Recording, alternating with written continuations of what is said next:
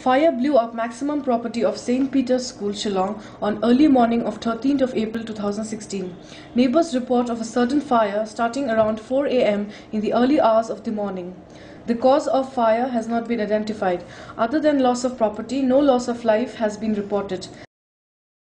One is negligence, negligence of the house owner, negligence of the uh, people who don't want to keep their you know houses or the surroundings properly. So that could be the, the reason for that. Deputy Commissioner P.S. Dkhar had said that the main cause of fire is negligence of the property owners and neighbors who do not take action quickly.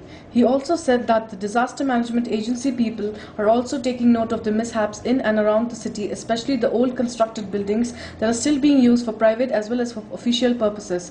One should be careful.